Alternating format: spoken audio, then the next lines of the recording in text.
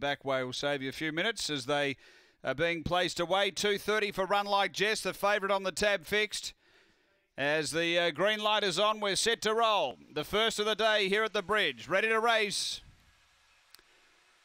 On their journey, pace from Run Like Jess early, pushing up. Midnight Blast is going to lead it up. They were followed by Aston Alpha and then Kingsville Flyer. They raced down the back and Midnight Blast skipped away. Peckham's got a few good chances in today. This one's away by three. Doing the chasing is Aston Alpha. They were followed by Run Like Jess and then Kingsville Flyer racing to the bend. Front runner is Midnight Blast moving up Aston Alpha. They were followed by Run Like Jess. It's Midnight Blast in front of Aston Alpha. Midnight Blast. Midnight Blast too good. Aston Alpha second. Third Run Like Jess and uh, Kingsville Flyer. The time here is around 29 and 80.